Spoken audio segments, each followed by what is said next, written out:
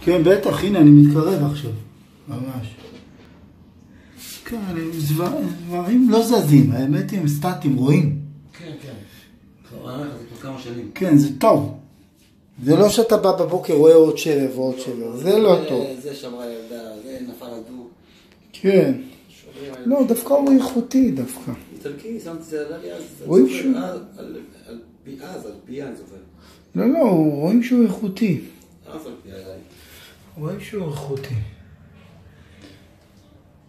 יש כזה מפלסטיק, הכי גרוע. לא, פלסטיק זה אבוד, לא? מה זה, נסדק, מתפוצץ. ברזל הכי טוב. הוא אמנם מחליד, אבל הכי טוב ברזל. לא ידעתי אם אתה יודע. מתכת, כן? בטח. כי ברזל זה כמו אוטו, אתה מבין? הוא, הוא גמיש, גם אם קורה משהו, ו- בברזל אתה יכול לתקן אלף שנה. נכון. אין בעיה. אקרילי וחרסינה קצת בעייתי לפעמים. כן. אבל זה יותר טוב מאקרילי. כן? ברור. הכי גרוע, הכי טוב ברזל. זה מספר 2. אחרי זה הכי גרוע. לא נורמלי. פלסטיק. כן. מאחור הוא מתעוות. וגם ה... הוא שוקע. זה פלסטיק, נו. לא יודע איך עושים.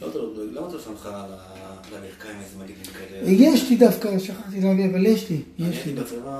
וואלה. הייתי מכוני מטוסים. וואלה. צילמתי לפני, אחרי. ליגה. באמת כמו חדש, יפה. ליגה. ו... זהו, ת- תתן לזה איזה יומיים ככה. לא, לא, אני לא הולכים פה היום. לא, לא. עד שזה יתייבש. עד יום- ראשון כעיקרון... כן, 24 שעות זה מתייבש. כן. אבל אמרת יום שני אז בכלל. רביעי. רביעי בכלל. עכשיו אני אגלח עם סכין יפני, אולי פה פחות מפריע לי.